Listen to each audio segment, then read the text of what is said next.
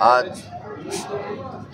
सवा चार बजे पुरानी हवेली में चप्पल का कारखाना था, उसमें गोडाउन भी था।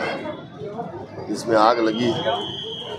जिसकी इतला सदर मजलिस नकीब मिलत बैरिस्टर ओवैसी साहब को यहाँ के लोगों से दी गई। उन्होंने मुझसे मुझे हिदायत दी कि फ़ौर आप जाकर वहाँ पर देखिए, मैं यहाँ पर आया और फरींदंस को भी मैंने बुलाया। इसकी वजह से आग काफ़ी बुझ चुकी है और कोई जानी नुकसान नहीं हुआ है।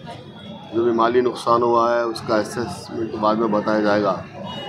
लेकिन इस तरह से यहाँ के लोगों ने भी जो ताउन किया है आग बुझाने में, इसकी वजह से जल्द से जल्द ये आग बुझ गई है और कोई जानी नुकसान नहीं हुआ है।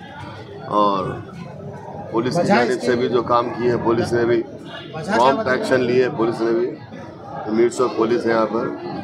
एसीपी सर्कल सब यहाँ पर थे और जो इंजन वालों ने भी बहुत ही फायर ब्रिगेड ने बहुत अच्छा काम किया है। और जैसे हमने टेलीफोन किया मैंने उसके ऊपर वो लोग यहाँ पर आए हैं और बहुत जल्द से जल्द आग को बुझा दिया। थी अब तो मालूम होगी वजह भाई तो पता कुछ भी नहीं अभी तो आग बुझ रही ना पता नहीं है। नहीं कोई भी नहीं थे। तीन वर्कर थे एक तीन वर्कर वहाँ पर थे। सेफ़ है